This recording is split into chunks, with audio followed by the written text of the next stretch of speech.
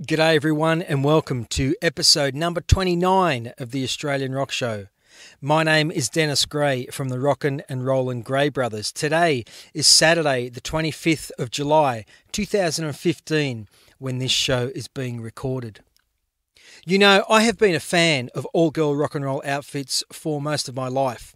It's a part of rock and roll which I have always found exciting. Since the 70s, Australia has produced many amazing all girl outfits, and I thought on this show I will highlight just a few of them.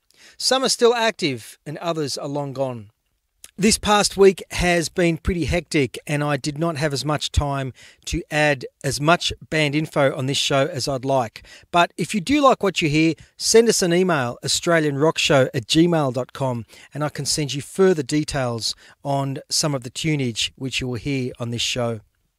Alternatively, I will, as I always do, list the bands aired on the show notes at AustralianRockShow.com and you can research them from there. This is going to be a fun show, I hope. There ain't any structure. I just sat down and wrote the names of some of the bands I really like. This is not a complete gathering, and if I have skipped an all girl outfit whom you know and like, let me know. But enough of the talk. Time to turn the volume up. Let's kick off this show with some illicit love from Hot Perth outfit Legs Electric.